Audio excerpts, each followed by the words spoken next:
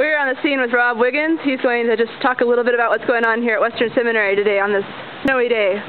Rob? Well, all the great sports fans of the Western Seminary teams I'd like to invite you to come out and be a part of an inaugural of our ice hockey team.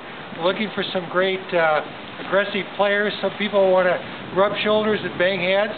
Uh, we're looking for a very aggressive goalie. Uh, we've got this great pond to practice on.